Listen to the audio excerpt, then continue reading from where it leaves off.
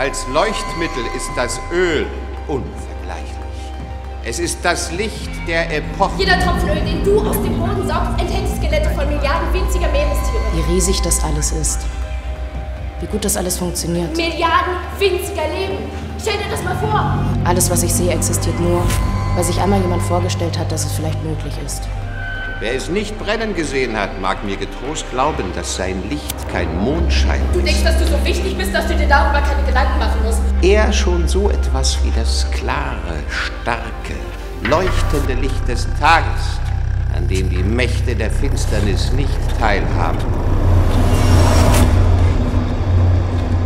Der Krieg hat an dem Tag begonnen, an dem wir entschieden haben, dass wir ein Recht auf Wärme haben, obwohl die Sonne nicht scheint.